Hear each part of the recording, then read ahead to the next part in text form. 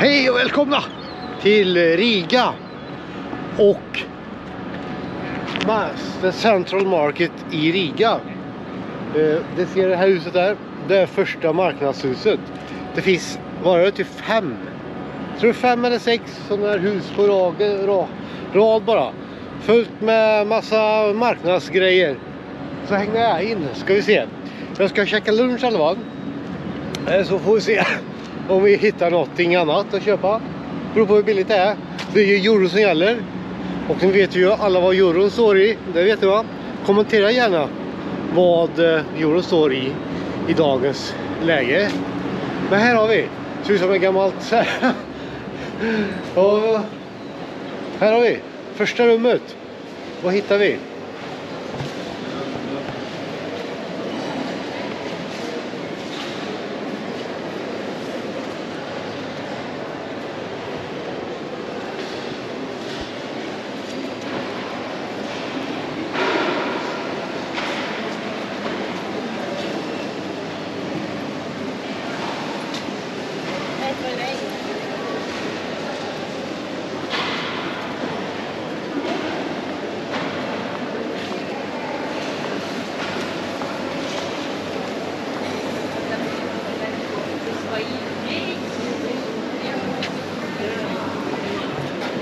Lite te och lite snacks.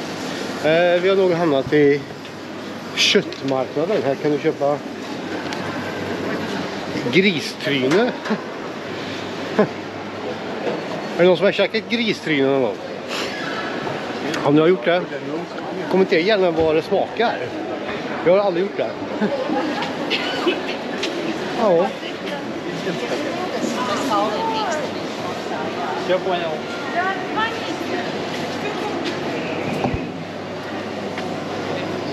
Ja, en, eh, ja. Lite saluhallsaktigt som sagt här. Lite större, lite, lite luftigare än saluhallen i, i Göteborg. Eh, men om det är bättre? Nej, jag vet inte.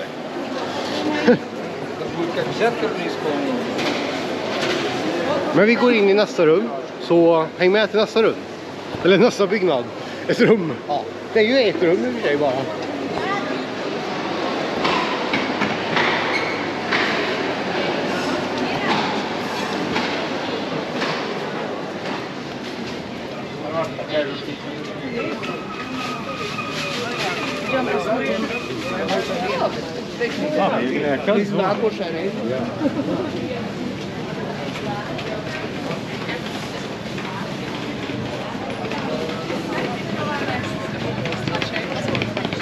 Ja, eller här va? Ja, det brukar jag också.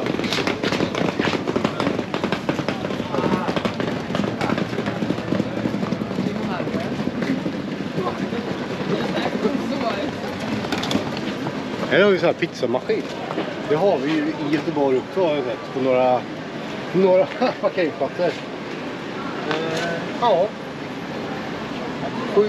För en margarita kostar det 7 euro. Eh, någon salamipizza 8 euro. Ja.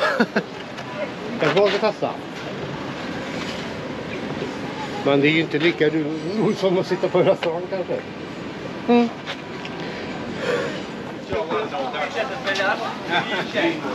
Ja. Ser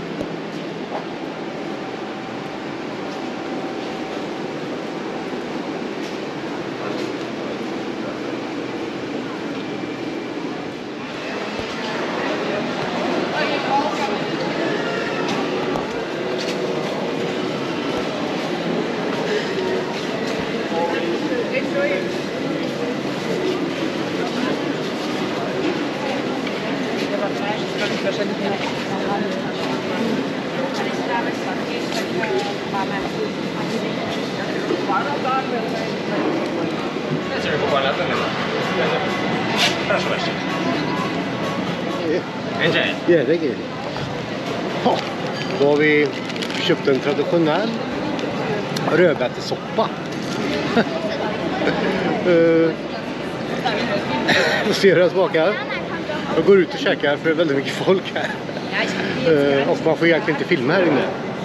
Men det gör jag ändå. Bara för er skull. vi går ut här och kollar. Ser mm, om vi kan få någon smakupplevelse. Ja.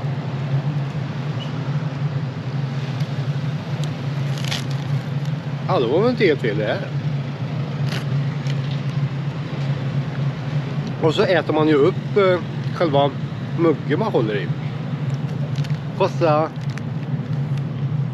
4,5 euro. Och vad det är i dagens eh, kurs, det vet jag inte. Men det är kanske 50-60 kronor.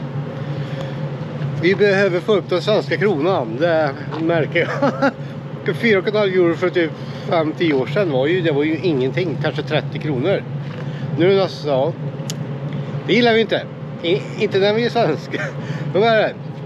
Rödbetan och lite gräslök. Och något litet ägg. Man ska checka upp här. Så fortsätter vi vår eh, marknadsdag.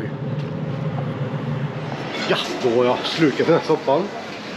Den var ah, helt okej, okay, men i slutet den blev lite, lite för mycket för mig.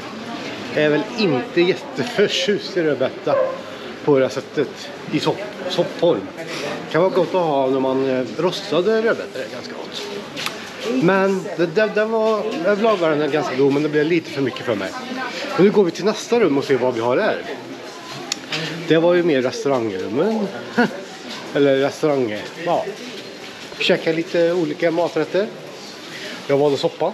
för Det kändes väldigt traditionellt. Det fanns sushi, lite ölstånd och allt möjligt. Men ska vi se. Det luktar fisk. Nu luktar det fisk. Så det blir en fisk. Ett fiskrum.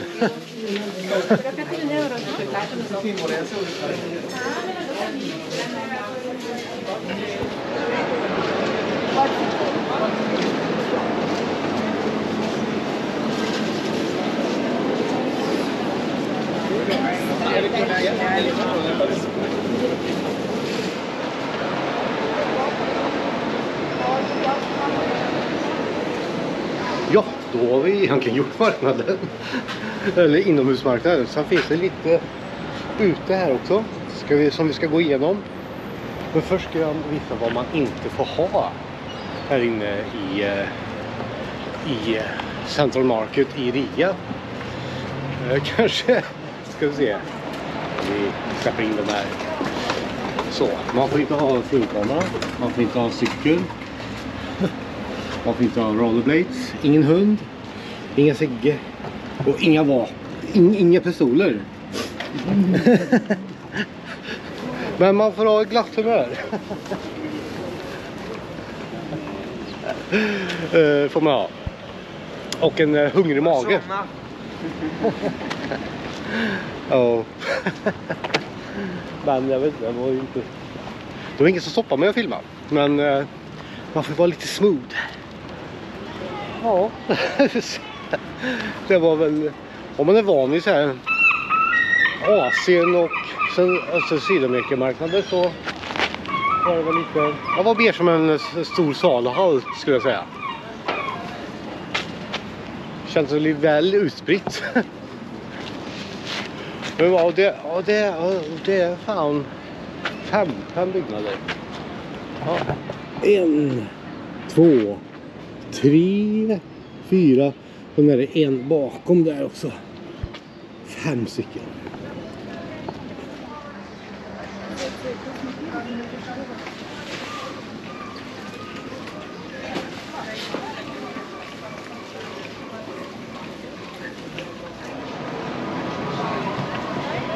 det här, de här vitamindrycken eh, fanns ju i Uzbekistan också. Men eh, jag testade ju aldrig det här. Men alltså jag tänkte faktiskt eh, testa en här. Se hur det smakar. Bra.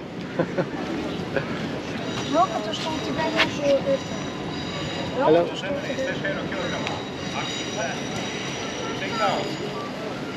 One glasses.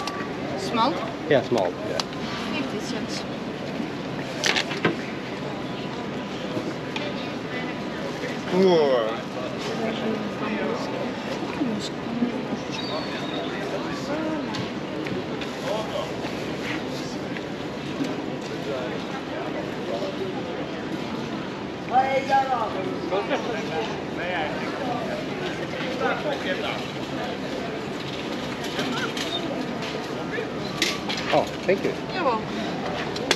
Så, ska vi se hur det smakar här då. Det ska vara väldigt nyttigt. Kostar, kostar 50 eurocent.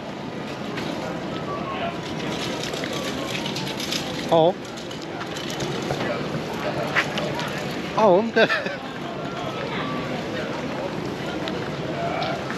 Ja, det var väldigt unikt. Jag tror det nog var samma som i, i Uzbekistan. Vit, vitamindrink, vit, vitaminudrinks. Mm. Ah, Så soppa. Och vitaminrik för 5 euro. Det är ganska bra. Lemonade, 6 euro kilogrammaa, super sen, superruoka. Men jag kanske ska avsluta här. Jag ska snart iväg på en, eh, en liten eh, stadsvandring igen. Sovjetstadsvandring här i Riga. Eh, Och det här var väl lite försmak på, ja, på Riga-äventyret. Så nästa video blir en eh, lite delar av en walking tour. Rigas sovjetiska historia. Det här kändes väldigt Sovjet på något sätt. Kanske bara för att det fanns i Uzbekistan också. Sen så hittade jag faktiskt Uzbekistan plov. plov också. Uh, det någon som hejade. Hello! ja, så om man är sugen på lite plov kan man komma till marknaden här också. Ska visa, det är väl sista filmar här. Eh, plov. Plovrestaurangen. Så vi ses, vi ses i, eh, i Riga på The Soviet Walking Tour. Mm. Ja.